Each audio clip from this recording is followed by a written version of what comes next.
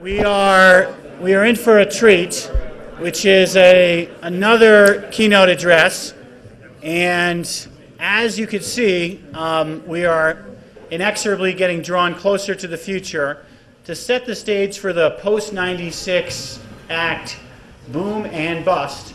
We have somebody who initially with Jim Crowe, but then on his own uh, lived it, and he's been a great friend to us here in Silicon Flatirons. Uh, Dan Caruso. Thanks, Phil.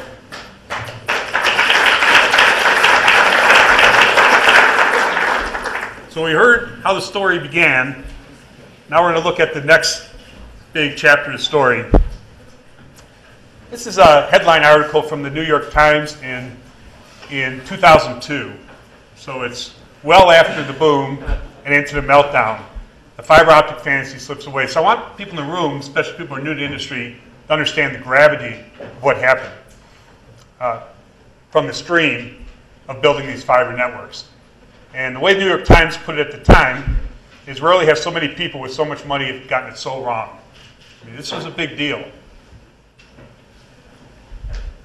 So instead of finding customers to fill up all this fiber, uh, they found we found ourselves with just way too much fiber and not sure what to do with it. A lot of people are familiar with the Enron story. Enron was happening parallel, and Enron did have ties into Telcom. But here's another article from the New York Times, published just a couple months after that first one. It started with a reference to Enron, about this company driven by greedy executives, accounting scandals, accountants doing things accountants shouldn't be doing. But what they said is because of Enron, something was hidden right in plain sight. And that was a whole industry was going through what Enron went through. Uh, identical plot, same kind of sub stories, uh, and monumentally more tragic outcomes when you add it all up. And that was the telecom industry, the very industry that the last panel talked about creating. $2 trillion of value eroding because of the meltdown that ensued.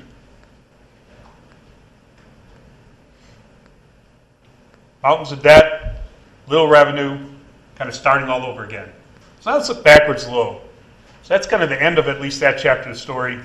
What happened? Where did that really come from? And Warren Buffett, who I know Jim Crowe has a lot of respect for, as do I, Warren Buffett was kind of the one person through this all who kind of watched it play out and got a lot of criticism at the time. A lot of people called him over the hill, past his prime, didn't see this whole trend coming. But it's interesting to look back now on what Warren Buffett said after the fact. The first thing he said is, like most trends, at the beginning it's driven by fundamentals. So something was making this disaster happen. And you know what? We were right. Internet did change everything. We all know that today. And we're also right that the bandwidth appetite that would result from that was incredible. This first bar here is the amount of bandwidth that was needed during the big telecom boom. It Doesn't even show up on this chart. Now let's look at it during the meltdown. So during the quote unquote meltdown, bandwidth grew dramatically. So the problem wasn't bandwidth growth. In fact, if you look at after the meltdown, through the period of time we are today, it continued to grow. And if you focus on mobile networks, it grows even more. 100% a year right now is what Cisco estimates the recent growth to be. So the problem wasn't the need for bandwidth. The problem wasn't that the internet was overrated. And also the problem wasn't the importance of fiber to all. Fiber is, and for as long as I can see, will be the workhorse of the internet. And then there's one more thing we believed at the time, and that is owners of these fiber networks would prosper. So I got a little quote here. On the left is the judge saying, well, what's the verdict? Were we right about that one too? And the bailiff says, Give us a little bit more time. The jury's still on deliberations on this one. So are the owners of fiber going to prosper? I think so. But that one, the verdict's out a little bit. So Buffett goes on to say, initially, when you have one of these cycles, it's the wise men, or use the word man, wise person, who uh, moves in the beginning. And there were a lot of wise people around this one, real wise people billionaire types. Let's look at a few. Craig McCaw, you heard the name earlier, pioneer of wireless. He started Nextlink, which looks like misspelled here, sold it to XO Communications, built fiber networks throughout a lot of tier two, tier three cities. He saw this early on, put a lot of his own money behind it. Uh, another example, John Kluge, billionaire media mogul, both the newspaper and media era. Uh, he actually was the initial money behind his company MFN, um, Metropolitan Fiber Networks, which then became AboveNet, which now I'm proud to say is part of Zayo. He saw it coming, made a lot of money. Another guy, Walter Scott, you know, someone Jim knows extraordinarily well, uh, from a billionaire from uh, construction world, funded MFS Communications, funded Level 3, saw it coming. Yet another example, locally here, Phil Anschutz. You know, built, funded this company after making already billions of dollars, funded this company called SP Telecom, that then changed its name to Qwest. Qwest then buys US West. You know, saw it coming, made a whole bunch of money. So Buffett goes on to liken this to Cinderella's ball. When Cinderella got all ready for the ball and went there, it was wonderful. She got dressed up, everyone else was dressed up, they drank, they danced, they had a great time. Well, this was a ball too, and boy, what a ball was it. I mean, it was beyond anything I think most people in the room weren't part of it could possibly imagine. You got your na- you got your picture and name on the cover of Business Week, calling you- yourself the telecom cowboy and talking about you're the best executive in the United States. A little closer to home, Jim Crowe, the past speaker, uh, on the cover of the money section of USA Today with the likes of Warren Buffett and Bill Gates and Walter Scott. The idea behind Level 3 uh, to build a global fiber optic communication network. A dream team with a dream network and a killer business plan, so long as we didn't screw it up. And you had some more fun stories. This guy, Gary Winnick, who I don't know if you remember this, uh, Jim, if you're still here, but uh, Jim and I actually had lunch with him not too far from here. I remember having a cheeseburger trying to figure out who this guy was. Uh, he uh, sold $734 million from this global crossing, now owned by Level 3. Uh, and he was flamboyant about it all. He bought a $92 million estate in Bel Air. He uh, spent hundreds of thousands of dollars building up his offices. He gave a Rolls Royce to one of his executives, and he even uh, decided that they needed a fleet of five planes to travel around the world. You know, this is a company that never made money. Gets better. ICG, a company I took over with John Siegel uh, as one of my investors, uh, the guy who originally started that was this guy, Shelby Bryant, called by the New York Observer tall, smooth, charming, seductive even. This is a telecom guy, right? The Vogue editor leaves her husband to get together with him. President Clinton at the time schmoozed Democrats in this guy's uh, apartment. These were pretty heady days. John Malone, a local billionaire who's one of the smartest business guys around, somehow got convinced to give him $500 million to support this ICG Communications company we bought for $8.7 million years later. Actually, not too many years later. Enron, we think of Enron as energy, but Enron had a big telecom division as well, a broadband trading concept that went completely bust. Some of their stories 1.5 million at a Christmas party, elephants making appearances for, uh, for employee meetings, renting out an amusement park. And closer to home, having all the executives come out here to Beaver Creek and stay in one of the nicest hotels that you can pay for. Kozlowski from Tyco had a $2 million birthday toga bash for his wife in Italy and a $6,000 shower curtain that made quite a bit of fame as this thing all all unraveled. So now Buffett goes on to liken this further to Cinderella and says, uh, you know, Cinderella knew was going to end. She knew her carriage was going to turn into pumpkins and mice. And uh, like, likewise, uh, you know, the equity markets who funded this uh, kind of sooner or later are going to have to see the same type of outcome. But there's a difference because Cinderella knew something. Cinderella knew that her ball was going to end at midnight. She knew she had to get out of there right before the ball ended. She wasn't very good at getting completely out of there by the time it ended, but she at least knew when it was. That's not how it works with a big, big bust, a big, uh, big boom bust cycle. You don't know when the clock's. Everyone's trying to wait till the last minute because in those closing minutes is when the, ball becomes most fun. That's when valuations jump the highest. And you think, boy, if I just get out at the right time, you know, I'll make all the money. But you don't have a clock. You don't know what time it ends. You don't know what even time it is. So if you're lucky enough to get out, like some of the people I mentioned in the middle part of the section, you did quite fine. If you stuck around, it all evaporated. So I'm going to give you the rest of Buffett's quote that I started earlier. What the wise man does in the beginning, the fool does in the end. Let's look at some of those stories. ICG, CEO quits, two directors quit, and the shares fell. First, when we saw this, we thought it was a typo. Fell from 78 cents to 88 cents. Well, how did it get to buck 70? Because it was probably 100 bucks at some point. Uh, just falls to the floor. Let's look at that in a chart format for Enron. Uh, stock price way up there, 90 bucks a share to nothing in a pretty short period of time. I think this is uh, by months, so you're looking at about a year period of time going from a big high to low.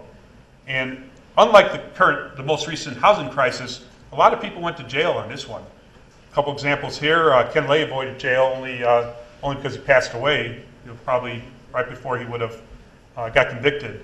His uh, partner uh, Skilling uh, did go to jail, and I think he's still there today, 24 years. In fact, a guy who spoke here not too long ago in this room, after just getting done with his his sentence, the CFO of Enron, he did six years. WorldCom, largest bankruptcy ever. It may have been a larger one since then, but at the time, largest bankruptcy ever. People we worked with. These are people I knew. It's people we were close to. I was on Bernie Ebbers' boat. I knew Scott Sullivan fairly well. Uh, Bernie, who was on the cover of Newsweek as a tel- of Business Week as a telecom cowboy, is now going to be in jail pretty much for the rest of his life. And Scott Sullivan, who was a good guy but in way over his head and got creeped into some bad territory, is still in jail to this day. Arthur Andersen was the premier accounting firm. Uh, we talked about Sarbanes-Oxley today and all the overregulation of public companies. This is where it came from. It came from the, the big telecom bust and the dot-com bust, and maybe more specifically from Arthur Andersen's role in it. So Arthur Andersen went from the premier accounting firm to gone, to being done with, in part because of Enron and WorldCom and, and other stuff as well.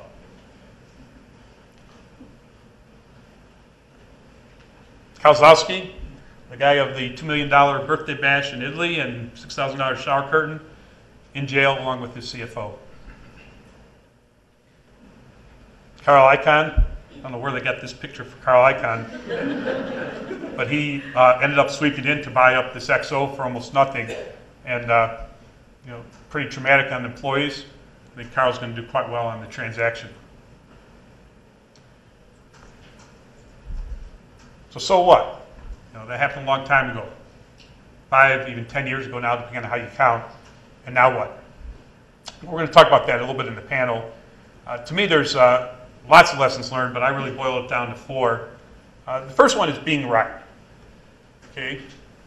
This is where Buffett, in this particular case, you should really pay attention to him. Uh, being right is, isn't always being doing what is most popular at the time being right is something that you've got to know from within. Uh, if you're right and you stick with it, you'll probably be fine. If you get caught up in a hype, starting to chase something that you really don't believe in, the story can end very badly for you. So really keep thinking about, is there really a business here?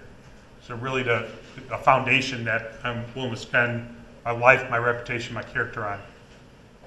Second is management ethics. Management ethics matter a lot. A lot of where these companies went wrong is they knew they were doing wrong. They knew they were bending the rules at first, and they knew that they went beyond bending the rules and uh, were way over any rational limit. But they thought they'd get away with it. They didn't want to be left behind. They saw people they knew make a bunch of money, and they wanted to make it too. Management ethics matter. Third is business philosophy, and, and again, I point to Warren Buffett. He, he does a great job. For those of you who don't follow him, of sharing with us his wisdom. He shares it openly, honestly, and uh, you can learn a lot from it. And a lot of it starts with what's your business philosophy? and what do you really believe in? And you have to develop that and you have to stick with it. I, I won't go into any of the specifics now, but a lot of these companies got way off track because they weren't really rooted in a strong philosophy about what it really means to build and run a business for the long term. And then lastly, execution competency. A lot of the people who were in this, particularly after the initial investments and more during the, you know, the, the, right before the pre-bust cycle, they weren't executing a business plan. They weren't focused on really running a business for the long term. They were just trying to create a set of hype so that they could inflate the value of their company and then pull the parachute and move on. Execution matters. You know, how well do you really run your business? So those are in a you know, quick summary, the takeaways that I could probably talk on for hours. But I will close and turn over to panel after making a little bit of pitch for first the front range here. Uh, what's amazing is when you look at all that competitive fiber that was built, the, the billions and billions and billions of dollars of competitive fiber, most of it belongs in the hands of level three, TW Telecom, and Zayo. And then topped off a little bit about Qwest, which is now owned by CenturyLink. So right here in the front range, right here in the front range, is really the heart of what is the competitive fiber industry. And I don't think we really know it as an industry, as a, as a community. And secondly, and, and Jim kind of referenced this, we're at the beginning of a long cycle. Like all that's happened, boom, bust, and what preceded that, that's the beginning of a, of a multi-generation cycle where bandwidths will become more and more and more important, and the technology and infrastructure that underlies it is going to be the home of great jobs for years and years to come. So bandwidth and bandwidth infrastructure and internet infrastructure in general is a great place for fulfilling careers. So those students in the room, as you're looking what you want to do afterwards, you know, don't view this as an industry that had its heyday and now is, uh, is kind of in its maturing cycle. It's just beginning. Remember that bandwidth curve I showed earlier? That's not going to end. So with that, uh, hopefully I teed up a very interesting panel discussion. I'll turn over to Phil. All right.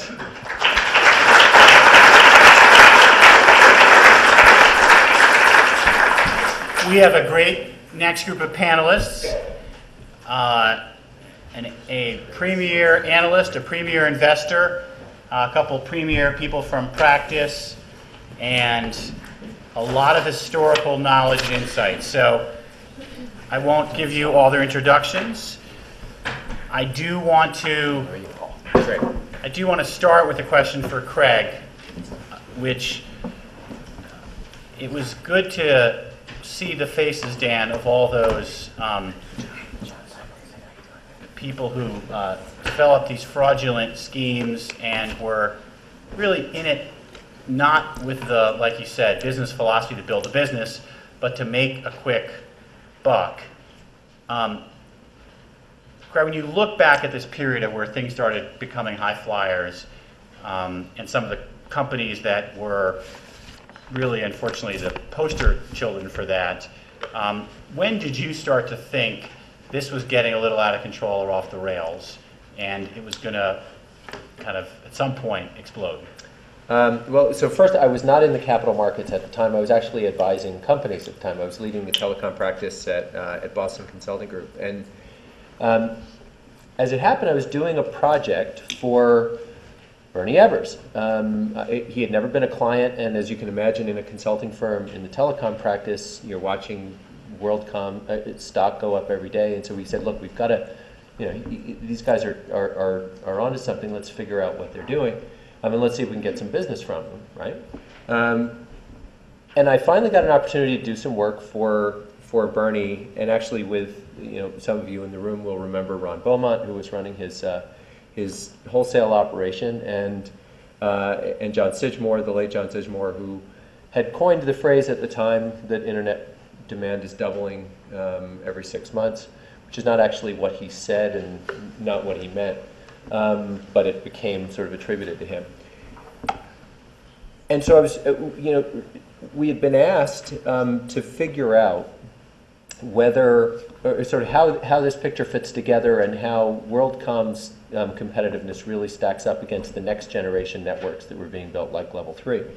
Um, and we did the work inside, and um, and I, I, remember standing at a whiteboard with Bernie um, and, and particularly with Ron and, and John and saying, look, we got a problem here because you, you have the number of networks since 1984, say, start with a unit of one divestiture just for simplicity's sake. The number of networks had grown by ninefold at that time. There were nine networks. The number of strands per network had grown by something like nine strands per network. you had gone from DS zeros to DS threes to OC three to OC twelve to OC forty-eight to, and, uh, and then wave division multiplexing. You added it up all, all together, we started doing it on the whiteboard and saying, okay, so you've got nine times nine times six times six times six times six times six times six times six, and then you've got dense wave division multiplexing times two times two times two. And we got to about that, that you would increase the capacity in the center of the network 181 million fold. Um, and that you simply, there was no conceivable way you weren't going to have a, a complete collapse of the industry. Um, and now, uh, i- i- some years later, and and I actually published um, a document at the time that said, look, we're coming to the biggest collapse. And what that- year is that when you This was 1998, saying that, you know, we're, we're headed toward the biggest calamity, maybe that we've ever seen in any industry. Um, Fast forward a couple of years, and when I, when I got to Wall Street in 2002, one of the things that I was really um, disheartened by, because I remember thinking at the time, you know, gee, if I'd been on Wall Street, think about how much money you could have made with the insight that this was going to blow up. Now, by the way, had you shorted the, the telecom stocks in 1998, you would have long since been bankrupt before you ever made money, and so not many people could have lasted long enough. So you would have been so early that you, you, would have been indistinguishable from being completely wrong. But the thing that was really surprising to me was when I got to Wall Street and started working with big investors. Um, I don't think they were just saying this for revisionist history. They understood that they were investing into a bubble. They, the, the disheartening part was their incentives were such that they had no choice but to invest in the bubble. Because if you were running a growth fund and you knew this is absolutely unsustainable, this is crazy, on the other hand, if I don't invest and ride this market up, I'm not going to have my job in six months. Not in six years, but in six months. I simply have to hold my nose and do it. Um, and so the incentives in the capital markets were such that you had this perverse cycle of pouring investment into it, and uh, and you know it really stimulated. I, I- I'll, I'll make a, a rather controversial claim, but I think the the bursting of the telecom bubble was so calamitous that um, it wasn't the bursting of the internet bubble, that was small in terms of market cap, um, that Alan Greenspan had to step in and inflate another bubble to avoid the recession that would have followed. Um, that stimulated the housing market and led to the collapse of the housing market and led to the Great Recession that we've had, and, and we still aren't out of it. And all of that is essentially the echo of 1999 and the housing bubble, uh, the telecom bubble. You made the statement about analysts buying these publicly traded stocks that, as Dan put it, had never made money, like high flyers like uh, Global Crossing. It, it reminds me of the statement, I believe it was the CEO of Citigroup who said, you've got to, was it Charles Prince, you've got to keep dancing until the music stops. That's exactly right, yes. Um, Now, John, you're uh, coming from a more venture capital perspective, uh, not a publicly traded equities. When you were in this space, looking at this, did you get to a point circa 98, 99, 2000, say, wait a minute, something really wrong is going on here? This claim about huge, hugely increasing demand and how much supply is out there doesn't match. Well, it's, it's funny. I think anyone who has been in this industry for, say, 20, 15, 20 years, you're going to have that aha moment, and hopefully it's not when you pick up the newspaper and you saw WorldCom was going down. And uh, I, at that, it, it, in the late 90s, I was working for Morgan Stanley's private equity group, and we actually were the third largest private equity investor in the world. And they, we had a very large telecom practice. Um, we backed a group called Equant that was basically spun out of the airline reservation business. Um, Royce Holland, uh, who Dan, uh, Dan and Jim Crowe know, we were the backers, one of the original backers of, of Allegiance, and I kind of cut my teeth in that era of you know, kind of the post-Reed Hundt uh, deregulation. And I remember being in a meeting, I had this, just kind of like, oh my God, this is, this whole thing is going to end right now. Um, meeting in London where I was sitting in a room and we had Goldman Sachs, Morgan Stanley, KKR, and Welsh Carson.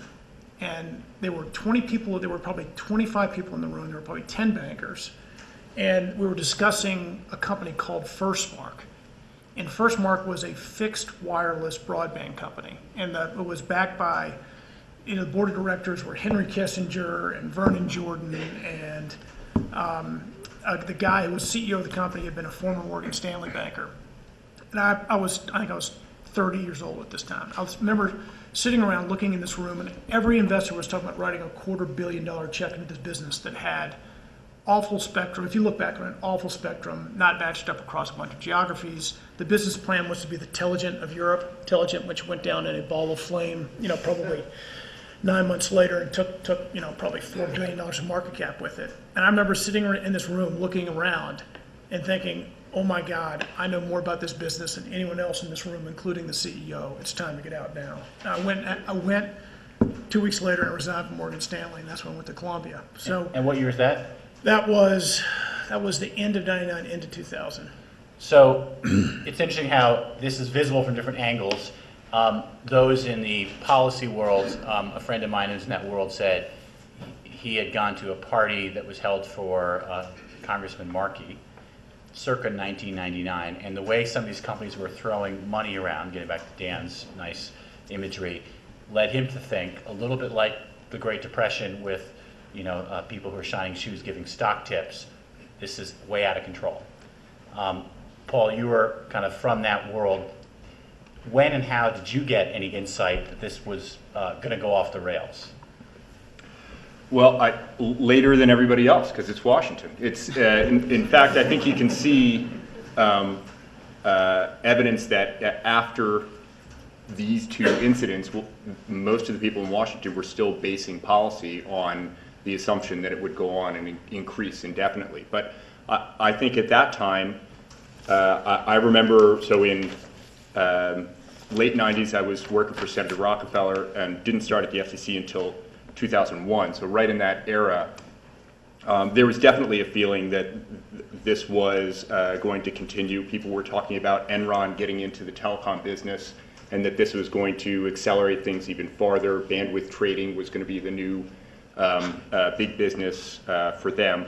And, and then I, I think you can see at the FCC, even in as late as um, in, in the 1999 uh, uh, time frame, you see the FCC making its decision on how to uh, study uh, competition in the special access market, squarely with the uh, with the thought that we're never going to really have to do this. So what do they do? They say we're going to determine which areas have competition and which areas don't have competition in special access, not by actually looking at competition in special access, not by looking at fundamentals, but instead by looking at whether there's co-location equipment in a particular number of central offices. And even at the time, everyone knew this was kind of a dodgy way of doing it. But I think the thought was it doesn't really matter because there's going to be so much competition going on for so long that let's just choose a bright line rule that's easy to administer that won't tie up hundreds of FCC lawyers administering it. But we don't have to worry about it because competition is going to continue. And that, that turned out to be uh, wrong. So, Colleen, you represent customers who are seeking to benefit from the competition. During this heyday, 1999 is clearly a, um, you know, with respect to Prince, you know, the time to party in this sector. When, uh, when were customers really getting the best deals? Was, was that actually consonant, or was it two separate worlds? The real world that customers had versus the uh, apparent world that was evident on Wall Street about all the hype and uh, rah rah. You know, this is when broadband took on a whole new meaning. Um, I represent enterprise customers who buy what everyone used to call special access, meaning broadband pipes into business buildings. And this is the time when broadband suddenly meant, meant residential video transmission services, or as the internet came into play, broadband internet access. And the concern that enterprise customers had, who were participating in a lot of the FCC proceedings to deregulate the business broadband market, AKA special access, our big concern was the FCC was betting on the come, as they say in Las Vegas. The FCC knew that competition had not arrived. There's a lot of fiber rings out there, but they don't do you any good if you can't get into a commercial building from the ring. That's the choke point. That's the bottleneck. That's what special access is. That's what the commission was regulating. And the commission said, we can tell that the competition cavalry are riding over the hill. Just look at the crest of the hill, you can see the horses' heads. It's gonna be here. And so on the strength of that confidence and prediction, the commission deregulated what has become a bottleneck for the past 15 years. And now that I've, you know, heard the perspective of people who were not like me with my head buried in the Washington sand, but um, dealing with the marketplace realities at the time, I have a little more sympathy for the decision makers in Washington who were swept along by this tide of optimism and, um, you know, lots of money out there, lots of competition. It's, it's a, you know, they don't want to be King Canute. The tide of competition is coming and no one can hold it back. At the time, business users, the customers of special access, were telling the commission, it ain't here yet, and we're happy to have you deregulate once it's here. We are all companies who aren't great supporters of regulation. But until competition arrives, hold your fire. Don't turn this market loose. Don't bet on the come. And since then, the, what we've seen is, I, you know, I was thinking about this the other day because I was at the FCC during the time frame that the previous panel was addressing, writing the SDN and Megacom orders. Um, and what we've seen since the 1990 deregulatory initiative of the FCC was um, deregulation. Everybody's complaining. Uh, AT&T, then not part of uh, a special access provider, but an independent standalone long distance company, goes to the courts, um, files a, a mandate, a mandamus petition to try and get the commission to do its job and regulate special access. Uh, and, and everyone in the uh, customer community is complaining about this, this pattern of the commission ignoring the realities of how these services were being priced. And they were being, you know, priced in a way to exploit the monopoly. So I was thinking about all, all of this, um, getting ready for the panel, and I realized it had a familiar ring.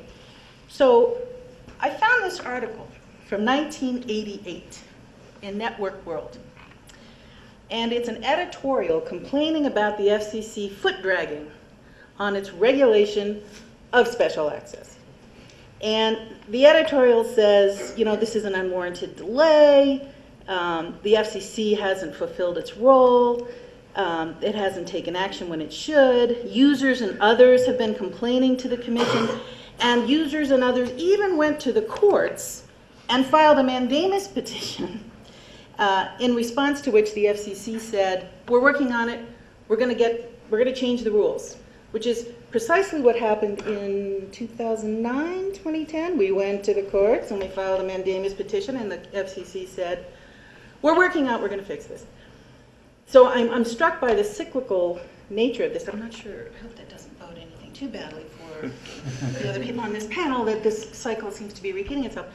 But the notion that when a lot of money pours into a market, and it may or may not be a bubble, but we're going to predict that that much money it just can't help but drag competition along with it, and therefore we're going to base our policies and our regulation of a market that is still not competitive on that influx of, of capital strikes me as nuts. And it's uh, corporate customers who paid the price for that in, in the past 10 years. They've paid way too much for a service that's, you know, the nervous system of their companies. So, Tom, uh, just so people know what the best case is on the other side and you can react to it.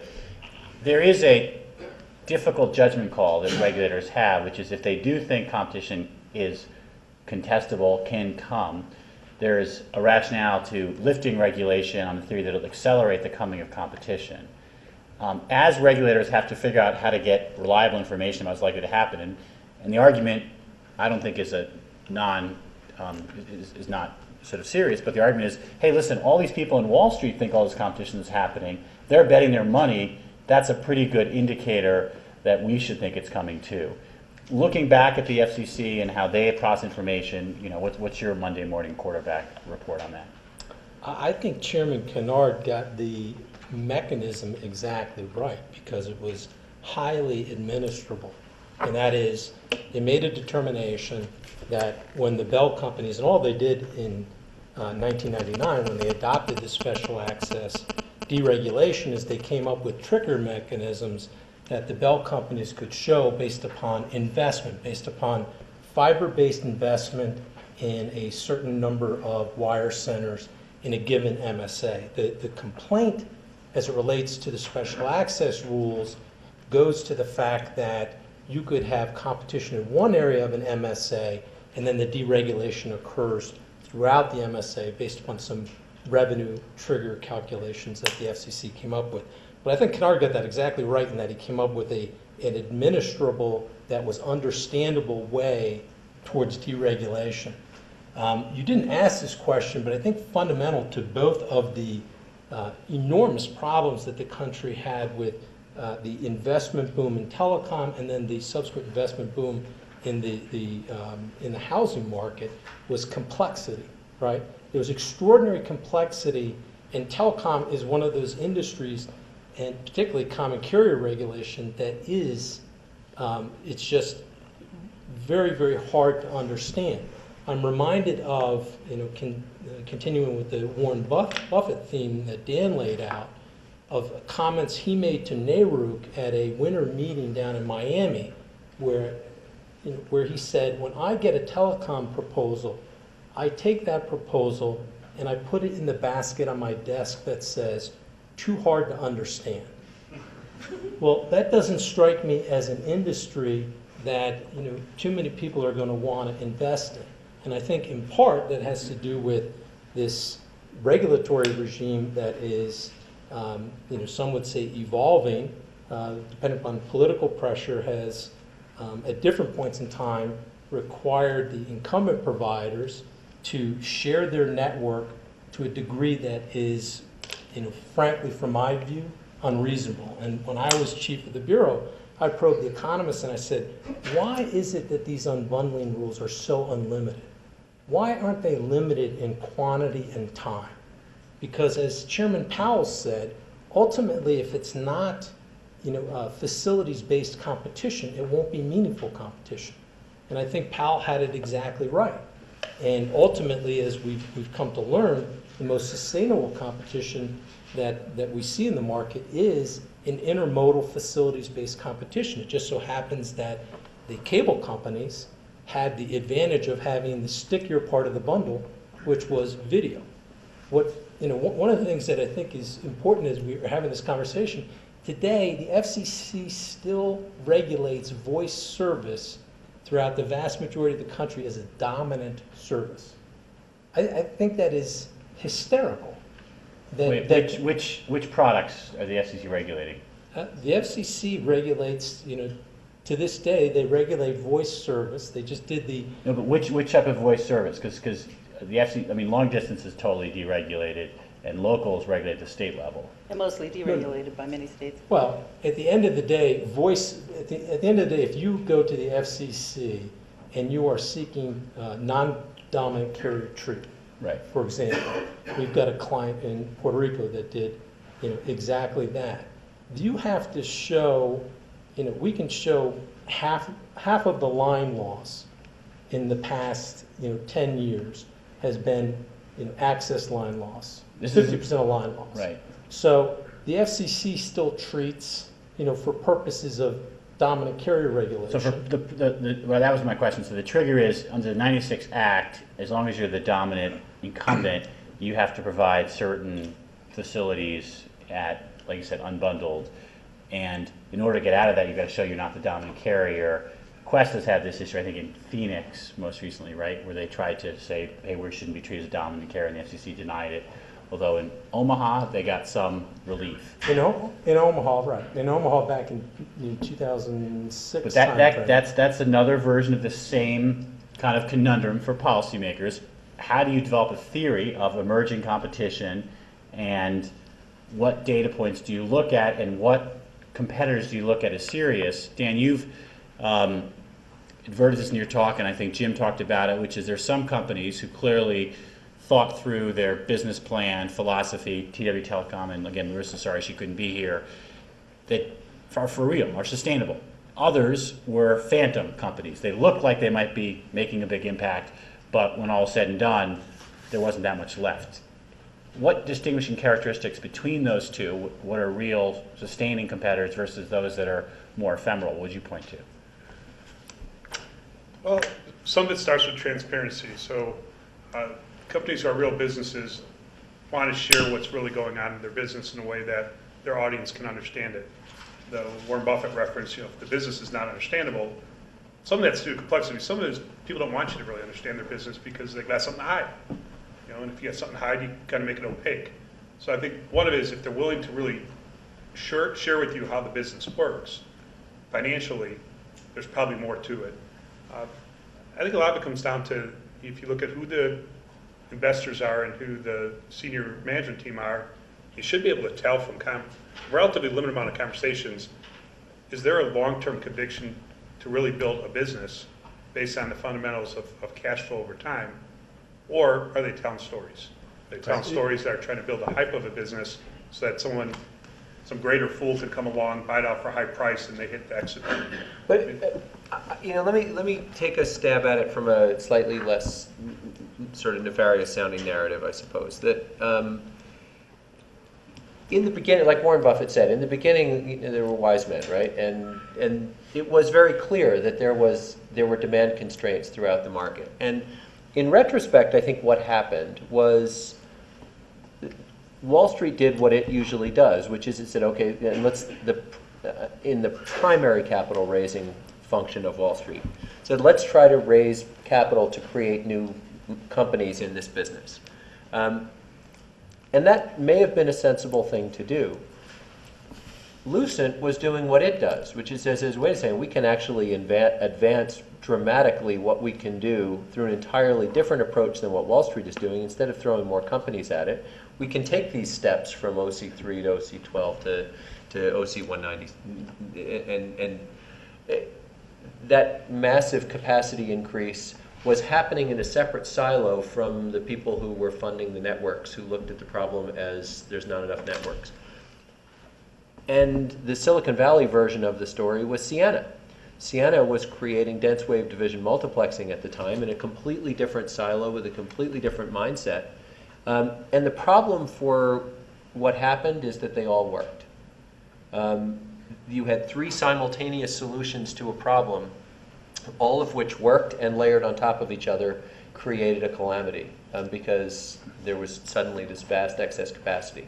Now, the secondary markets of Wall Street, that is, after the primary market function of creating new companies and, and capital raising, the secondary market function is, is the stock market, right? Uh, or what some would call the tertiary function, um, trading the value of companies. And that's really where it went haywire, and, and that's, that's where bubbles are created. Um, and capital is like water, right? It always flows to the easiest place first. That's why your basement fills up with water before your attic. And, and so the easy place in the, in the fiber business was connecting six points around the country and calling it a national um, backbone network. I think Dale said it right earlier in the first panel, which is there were real capacity constraints in lots of places out of the in the in what you think of as the middle mile parts of the network, special access. But that's hard work, right? That took that takes a long time and a lot of heavy lifting, and the capital flows to the places that are easy. So if you knew that you could you, you could connect six points for three billion dollars and get a nine billion dollar capitalization for doing it, of course you would do that, right? And you had lots of people that started to do that. That was the funny money um, function of all this. But it really started with, I think, a, a, a genuine um, problem, which was there was there was insufficient capacity, and you had three different approaches to try to solve it, and they all worked. But So- wasn't part of the problem that those kinds of investors hit, that they were throwing a lot of money into a market where the parts of the network that they were not building out, the special access, the local loops, the how do you get to the ring from the 3.5 million commercial buildings in the country, that part of the market, based on the 96 Act and the FCC's descriptions of what it was doing, was supposed to be open to them on a regulated basis, thanks to interconnection thanks to special access regulation. During this same time period, the commission backed away from regulating special access and from policing interconnection and, and really uh, being rigorous about data collection and market assessment and imposing stiff interconnection obligations on the incumbents. I mean, a lot a lot of the early fiber builds were connecting the harder to reach places at the time. MFS did that, TCG did that, Brooks did it, MFN, now then AboveNet That's what they were doing, that's what ICG was doing, so, I, you know, it was only But that, after but that was that the, s- whole. that was hard and slow. Those are, They're all the- building but those are the buildings. companies that end up surviving. Right, because it's hard and slow and it was a real business. Yeah, but it, but it was after that, that the phase of, you know, years Well, after that, yeah. that the phase of connecting up handfuls of buildings and calling yourself a network and expecting a three for one turn on your capital just because you spent it on So, But um, the FCC didn't see a difference. I think in general, Washington didn't see any distinguishing characteristics of any of that. So instead of, at the, you know, regulatory agencies are on their thinnest ice when they're making predictions about the future. They're better maybe at analyzing what the current situation is. They're, and the FCC is in the hardest position because it has to do so in this industry and with technology. So at the very moment when a regulatory agency should be at its most rigorous, unfortunately, most of the time, the regulatory agency licks its finger, sticks it in the air, and tries to see which way the wind is blowing and makes its decisions based on that. And so, i- in a lot of ways, in '99, this is what the FCC was doing. It didn't go through the really hard work of saying, okay, let- let's let's rigorously analyze product markets and understand the difference, as you were saying, Phil, between one type of voice service and another. Um, are we are we talking about uh, competition for uh, uh, intercity backbone versus metropolitan area networks versus channel terminations at the last mile? Are we looking at things like DS1s and DS3s, or are we looking at big OC level capacity um, circuits? The FCC didn't make those kind of distinguishing uh, analyses that they really needed to do. Um, and, it's, and they also didn't do that on the geographic basis. They didn't say, okay, we're going to do the hard work of really breaking down geographic markets in a rational area.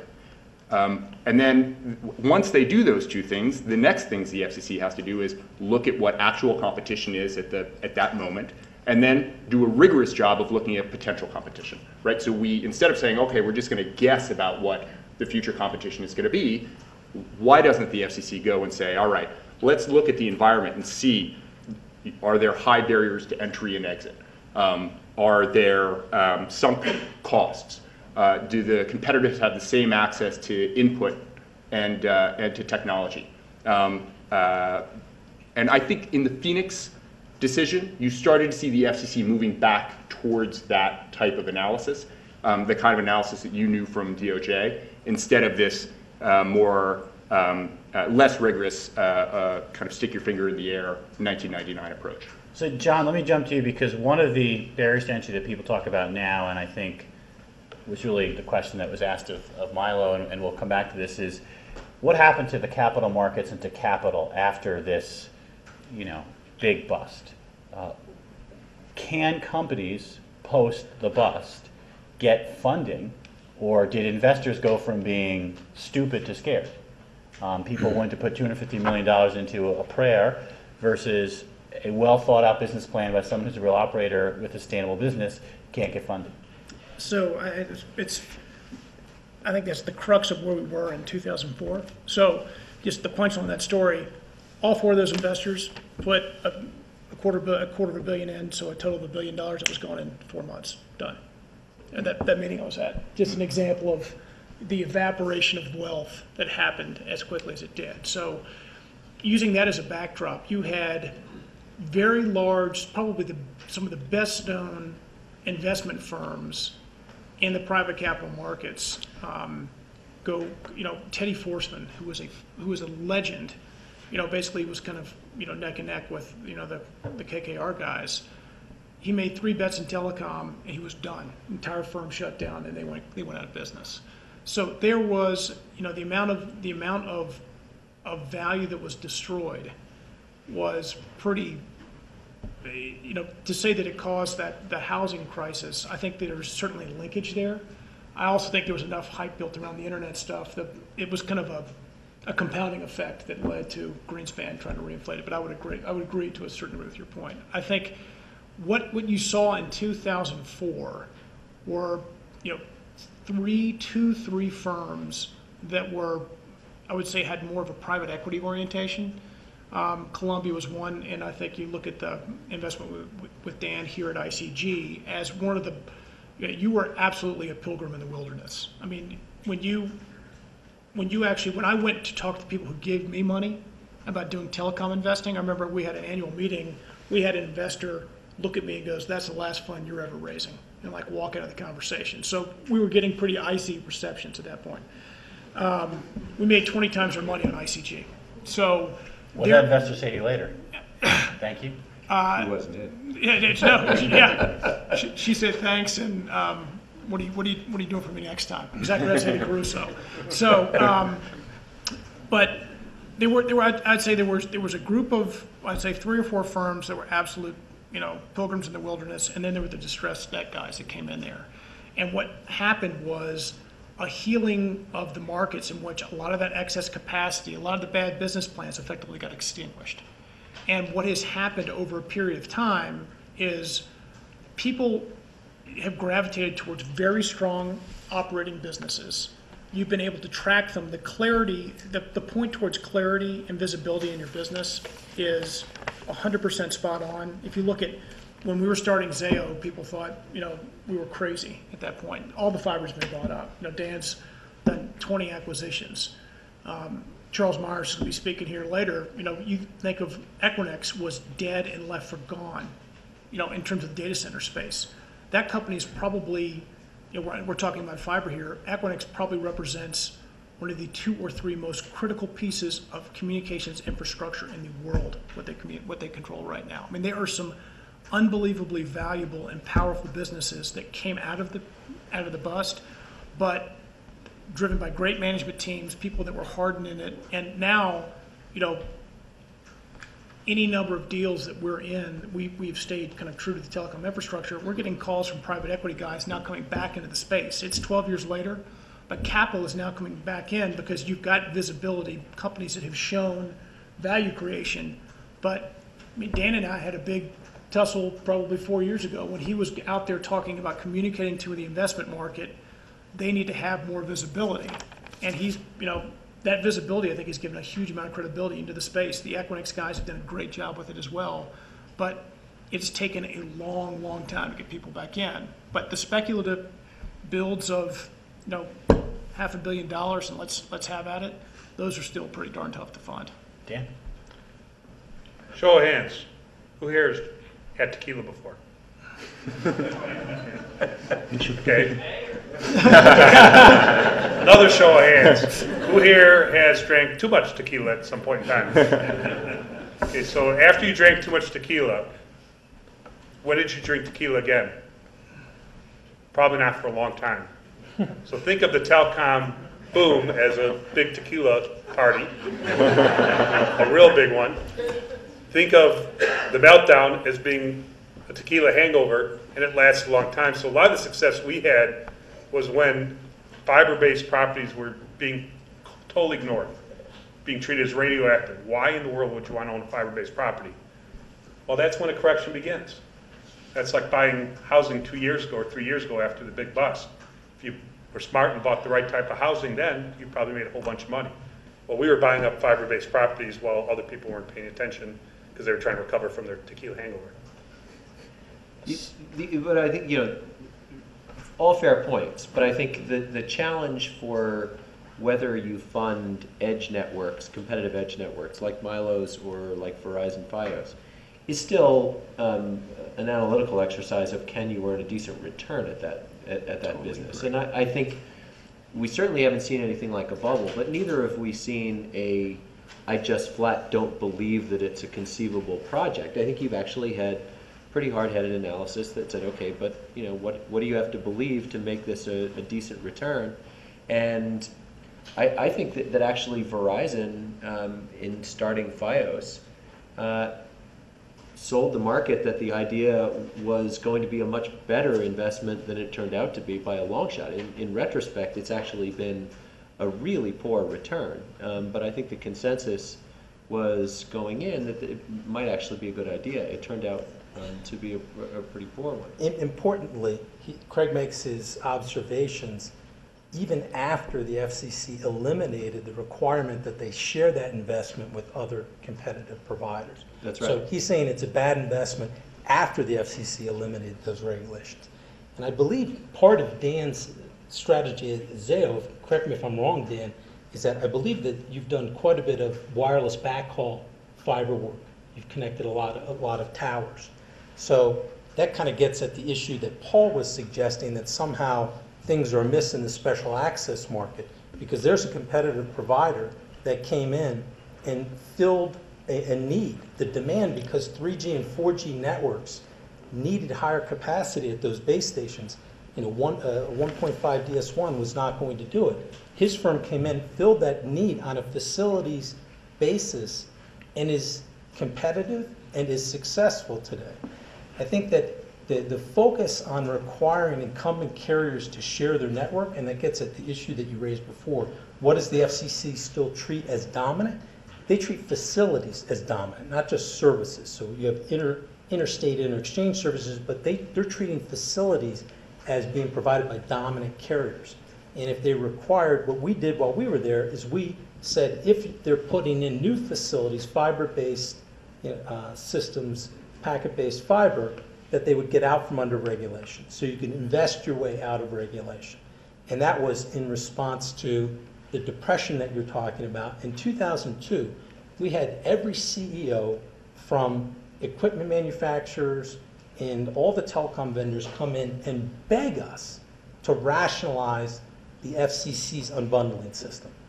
And as a result of that, Verizon ended up, you know, spending $25 billion on, you know, fiber-based uh, investment to the residential market.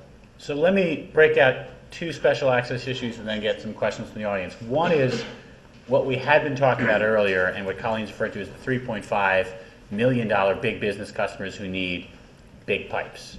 The second is what you just mentioned and, and gave Dan a lot of credit for seeing the importance of, which is backhaul to wireless, particularly as wireless data is becoming bigger.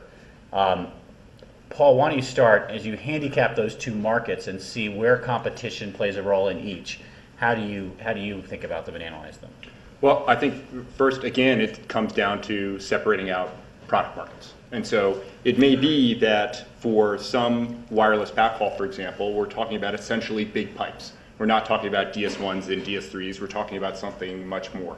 Um, uh, and it may be for some businesses, we're talking about much, much smaller pipes. There are a lot of businesses around the country that continue to rely on DS1s and DS3s for card swipes and ATM machines and all kinds of things where you don't have to have streaming video over your network, and therefore you use a, a different uh, a different product. As far as I know, none of my banking clients plan on using their ATM networks for gaming.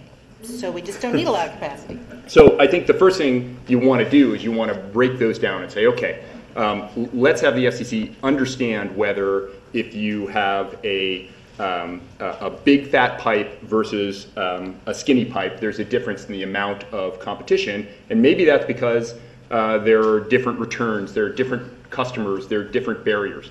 Similarly, I think you have to do an analysis that breaks down the difference between channel terminations, that last mile, and the transport and the backhaul, uh, and the, um, uh, uh, uh, the intercity uh, backbone.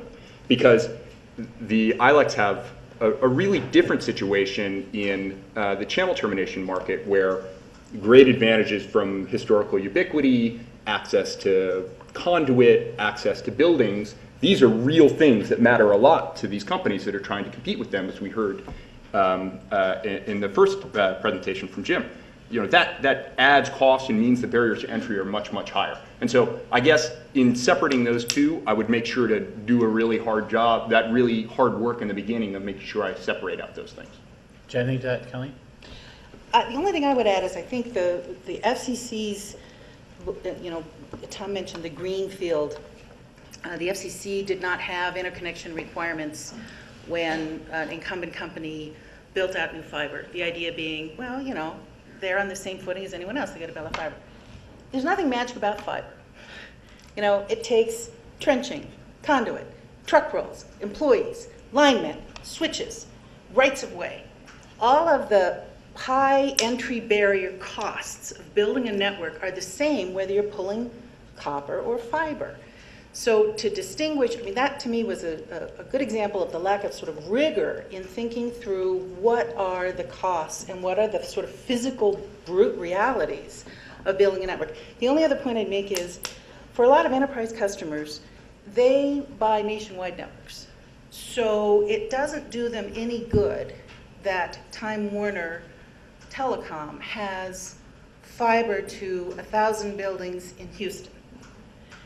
If Time Warner Telecom can't come in and say, I can give, I can meet all your nationwide needs for T1s, then they're in the mix, they're in the bid. We'll look at that response to the RFP. But in order for that to be the case, the, the TWTs and the, you know, all the, the level threes, the new entrants, they've got to be able to buy network capacity where they don't have the facilities themselves. Otherwise, they can't come in. You know, it's the, the problem of you don't spring forth fully formed as a network. So you, you've got to have a time frame where a competitor can buy capacity that it can't build and use that purchase capacity until it can build. That's a timeline. And I think a lot of times the street doesn't have patience.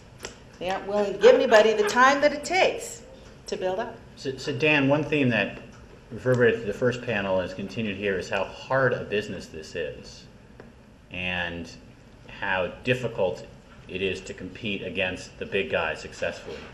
You uh, maintain a, um, a strong sense of optimism. Wh- What keeps you going and not getting too deterred by the challenges that some of the folks have been talking about? Uh, Telecom is inherently complex between a lot of complicated regulation, a lot of technology change. Mean, Bandwidth is growing at 40, 50% a year. A lot of stuff has to happen behind the scenes to keep pace. So it is an inherently complex business. Uh, you know, The business model I'm part of is a pretty simple form of the business, but I've been in most of the areas. In fact, some of the businesses we run are still wholesale voice off to the side. That's still inherently complex. Uh, you know, we try to focus on, and, you know, the Warren Buffett reference earlier about, you know, there is advantages to business models that are more straightforward, because people can understand them better. So we try to keep our business model itself focused on the more straightforward aspects of, of just producing bandwidth as a, as a, you know, kind of commodity, valuable commodity, but commodity nonetheless. How about the challenges I mentioned? Colleen mentioned you have to be nationwide, and Paul has mentioned that competing against incumbents who, if you're lucky, have a price umbrella. If you're unlucky, actually try to selectively undercut you um, wherever you're offering your services. How have you differentiated yourself and managed to evade those two challenges? Okay. Anyone from AT&T or Verizon in here? I'm here. I need you to leave the room. on the scale, but I I need you to leave the room for a second. So uh, AT&T and Verizon are our two largest customers. Uh, Notwithstanding that, if I had to pick two companies to compete against, mm, it might be AT&T and Verizon. You know, I I like our chances against them.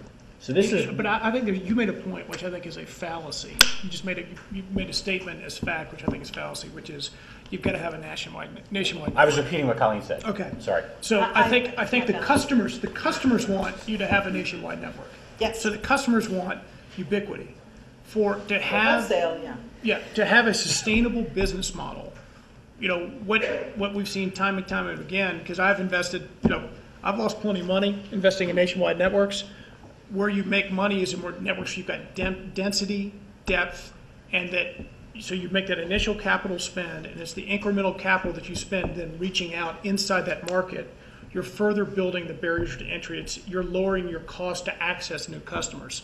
When you start playing the flag planting game, you know, and AT&T can tell you they're trying to maintain capex across, you know, 300 markets. I mean, it is a flipping nightmare, especially when you get to the, the example of equipment start getting getting old, and the you start running down that trap, and it's just a it's a slippery slope to a lot of brackets around returns. So Craig, both Dan and John, in different ways, have given you the optimistic theory of the case, which would apply certainly to, say, Zayo, Chiva Telecom, and, and probably Level 3 as well.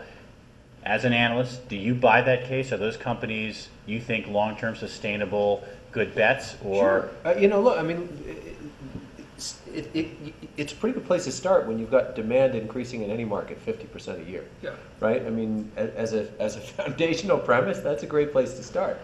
Um, but, but, you know, one of the reasons that it's a good business is partly because a lot of the assets that they've been able to accumulate, they accumulated at pennies on the dollar. Um, it's a very different proposition to say, would you go in and greenfield the business that they have today? Um, probably not. Um, eh, you know, you can, there's people making money with Iridium, right?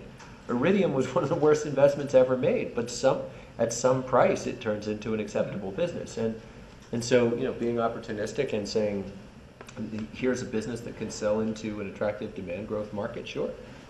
Look at questions from the audience. First, uh, any students have got a question?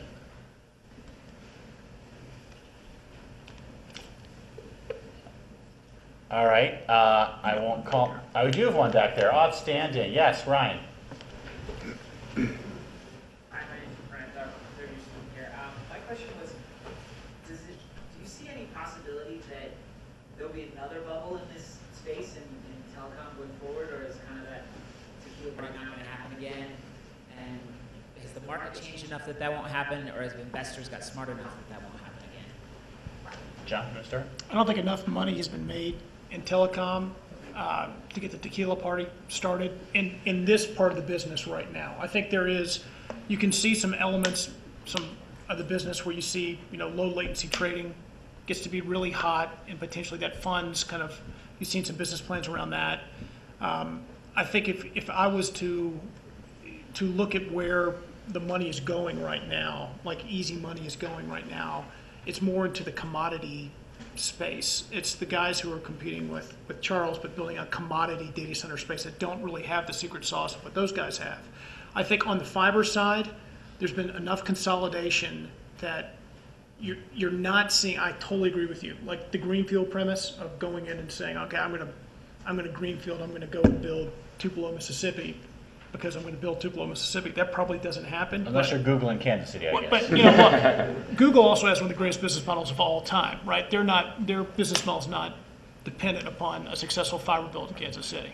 But for Dan to go build Tupelo, Mississippi, because he's got Verizon as an anchor customer that wants fiber to the tower, it, you know, there is a business case around that. But to go greenfield that without having, like, the greatest business model of all time, you know, is difficult. At least, at least right now. I can see parts of the market where it's getting hot, but not crazy hot. Not, you know, 29 guys in a room, no one knows anything, and everyone's lining up to try to write a quarter of a billion dollar check.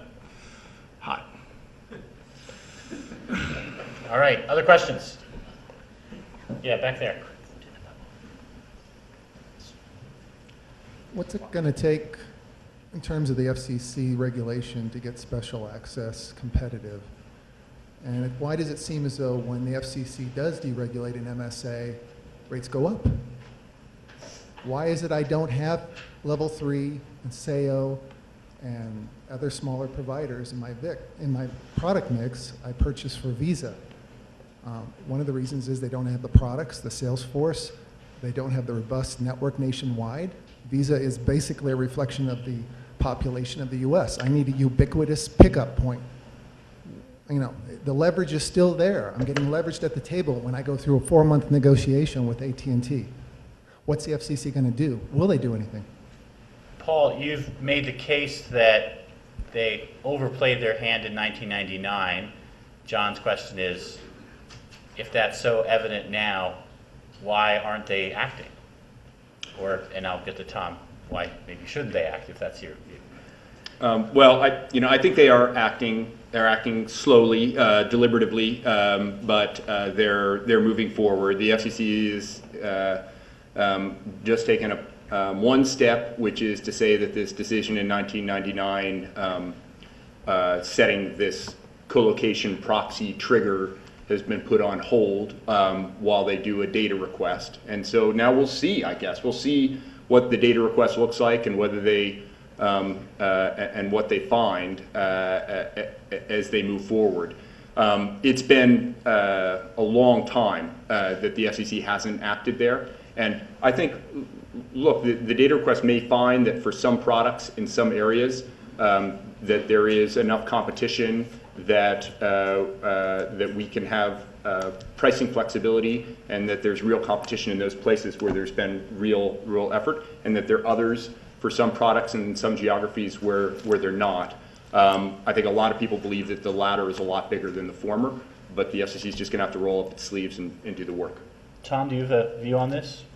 Well, I think it's interesting that we're talking about how difficult the business i- this is, how capital intensive it is, but somehow it makes sense to folks that the FCC should determine how the incumbent carriers monetize that investment. I mean, I would simply note that on the residential side, where we simplified the regulation, when I was at the FCC, there was quite extraordinary investment, and there is competition, you know, at, at quite a few levels on the residential side.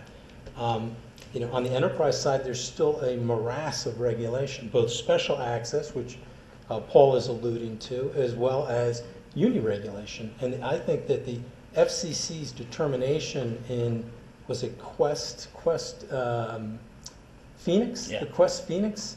I mean, if you read that decision, what, what the FCC said there was that until the applicant can demonstrate that the alternatives such as wireless and VoIP technology are have a price, are having a price constraining effect, we don't think we should forbear from regulation.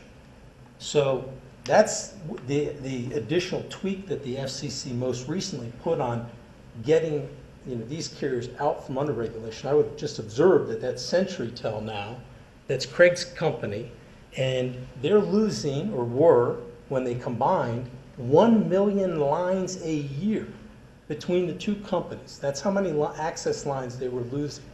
But somehow, somehow they have to demonstrate to regulators that these other alternative technologies are having a price constraining effect. To me, that makes no sense. That's not the test we adopted, and I think that we were much closer to getting it right.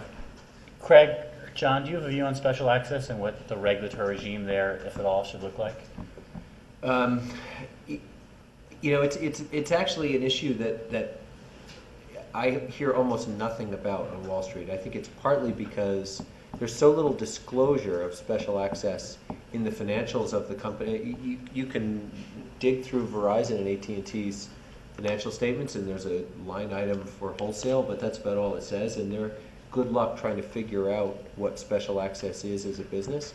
So on Wall Street, it gets almost no attention. Um, you know, and I started to talk to investors about um, a- a- about look, you know, you got to understand that we're when you open an NPRM for special access, it, there's huge amounts of value at stake. You know, they look at you with glazed eyes and say, you know, who, who's going to get the iPhone five? and and and so it's it's just not an area that gets that gets any attention on Wall Street. Other questions? Yeah, Donna. So I have a follow-up on that. Yeah, we'll- we'll get you, we'll get you a mic, Donna. A loud Donna Jaegers from DA Davidson. Um, so follow-up on the special access, uh, NPRM that the FCC is looking at. It Seems like one of the most, uh, illegal things that the FCC is doing, or that, that the illegal things that the big companies are doing, is that, um, AT&T and Verizon require a, a company to buy 85 to 100% of the same amount that they bought from them last year in order to get the best rates on special access. That's a nice cozy tying arrangement. Do you think the FCC is going to do anything about that? Because that alone would at least allow some of the other competitors to start profiting from special access and increase competition. So just to kind of, again, um, this is a complicated picture, um, apropos of the eyes glazing over. Special access, broad term, governs different contexts. At, at the minimum, these big business customers also used for the backhaul for wireless. There's a question about, is there lack of competition and prices are too high, so you need more of the triggers to regulate it? Second question, is competition hindered by, let's call it, anti-competitive agreements like the kind Donna described? Um, Dan, are you nodding your head yes? Okay. That, that I agree with. Uh, Colleen? I, I- you know, I I have to say enterprise customers may be a a little late to the table on, this is the um, terms and conditions side of anti-competitive behavior. We're sort of more into show me the money side. We would like to see the commission push prices down. But the, the other side of the special access equation is these terms and conditions that, that impede the development of competition. And, and I, I think um, other people at the table are perhaps more interested in that because they're more affected by it. But the provision, the specific provision that you mentioned, caught the eye of enterprise customers. It's, this is a provision that says my most steeply discounted prices are only available to somebody who promises to give me all their business. And that makes it really hard for a competitor to then get some of that business. Now, we're talking about a discount that goes to somebody who spends ten dollars and somebody who spends hundred dollars, as long as hundred percent of their business is going to that provider. So there's really kind of no cost justification whatsoever for the discount. The only purpose of this term and condition is to kind of lock up that, that demand and keep it away from competitors. Not a big issue for enterprise customers because, you know, that was something that IXCs, those, those kinds of provisions, growth discounts and, and exclusivity commitments were a bigger part of the market in the early 90s, and it's something that savvy enterprise customers negotiated away and said, all right, you're out of the mix. If, I no, I'm not going to give you a 90% exclusivity commitment. Go away. Next person come in. They had competitive alternatives. If you don't have competitive alternatives, you just, if you want to get the lowest rate, you got to sign up for an anti-competitive provision. So now enterprise customers are starting to focus on that because to the extent that those kinds of provisions, those structural uh, characteristics impede the development of competition, then it impedes the kind of price reductions we want to see. So before I let Paul answer the actual question Don asked, which is, will the FCC do anything about that issue? It's worth noting, think with Anne Bingaman in here, um, antitrust authorities are not able to exercise oversight over this issue because of a Supreme Court decision, um, Trinko, which says where the FCC maintains regulatory oversight, uh, it's questionable about whether or not antitrust has a role. So uh, the pressure here is uniquely on the FCC, where otherwise you might say this sounds like an antitrust type issue. Paul, is the FCC likely to act uh, in this context, putting aside the question about pricing regulation? Yeah, li- likely to act in the FCC. I, I, it's, you know, crystal ball gazing for the FCC um, is hard. It, um, you know, there are politics involved uh, on this, and so I can't say whether they will or won't uh, uh, act. What I can say is that I'm pretty sure that this is going to be at the core of the proceeding. Um, um, there are, I see there being three legs to the special access proceedings stool. So one is this um, triggers that we talked about. You know, what should the, the trigger be for where someplace is competitive enough and is not for one type of regulation or another? The second is in those places where it's not competitive enough, what do we do? Should there be, what should the price cap be? And should we have productivity factor that takes care of things we're not?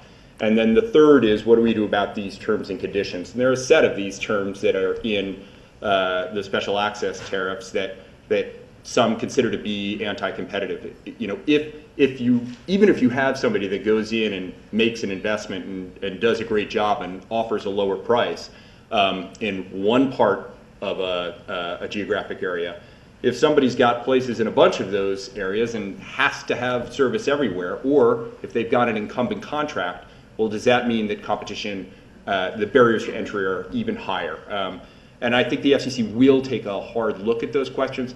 I really can't predict whether they'll do something about it. Let, let me go, Craig and, and John, give you uh, the final word, but I want to actually add a gloss to what Paul said, which is, you know, I asked the question previously to Dan about sort of how to be effective, and, and John explained the nationwide um, reach is not necessarily a constraint. But when you're up against the big guys, and this came up in the first panel, that's not necessarily an easy position. I think Roger Noll made the case, but you're able to do things they don't do, and I think Dan gave that. Um, can you be an effective competitor even without the sort of regulatory protection of the type that Don is asking about in, in, in the case of the special access practices? Craig, how, how big an issue is that? Um, well, if, if you can be soup to nuts facilities based, um, then yeah, you know, the hard part is, is, as, you know, we've said, it's, it's really hard to make the economic case for the full suite of facilities. So at some point, you're gonna have to depend on the incumbent network, and you're gonna need regulatory, um, relief to make sure you can get it. Um, so, so, you know, it, it, these are, these are real issues. I mean, it's, uh, unless you have a regulatory framework that allows you to, to piggyback in at least some parts of your, your business, you're not gonna be able to get the other parts to, to make money. I, I, I just wanted to make one follow-on comment, though. Um, you know, let's, let's put the other hat on for a second. Verizon's return on invested capital in its wireline business is, is about one point three percent with a seven and a half percent cost of capital. Um, um, AT&T's is, is above the cost of capital, but just barely. Um, And declining. and declining. And, and while it's tempting to say, look at these big bad monopolists and let's take away their special access business, um, just understand that you're squeezing a balloon, right? And if you squeeze one side of the balloon, you say, okay, they can't make excess profits here, um, and they can't make excess profits here, but it's perfectly acceptable to leave them with all the places where they lose money. Well, guess what? You got a real problem, right? Well, And that's, it's- and that's a political problem. I mean, if, if we're. but it's it's it's a it's Yeah, a real economic. Problem. It's a problem, real right? economic problem. If we're Cry me gonna a river, say. cry me a river Yeah. on AT&T. I mean, Yeah. like, Well, wait, wait, before, before we get the critical, I, I think Craig's point is, raises a very um, challenging public policy question. I'm going to let Paul respond to it, and then we'll have to go, which is, you could say, and, and Tom made this, Verizon has lost a ton of money on their fiber deployment.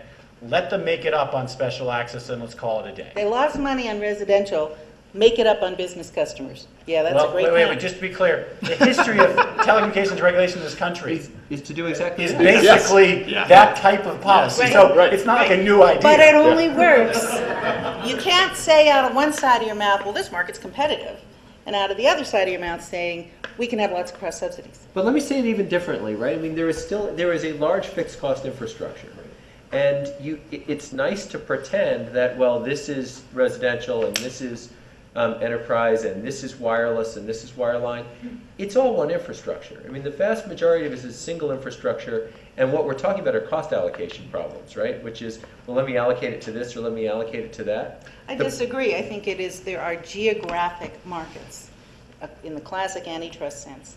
And where the FCC's regulation went off the rails is when they abandoned generally accepted economic principles for analyzing markets and went on this predictive thing and this, well, it's all one, and gave up sort of rigor. So there are, there are geographic markets. So for Absolutely, but there and residential there are also markets have segments. The cable problem is trying to do Business both of them at the same All don't. right, time. we're gonna, we're gonna have to wind this up. We've teed up the final panel nicely. I want to thank you all for a great discussion.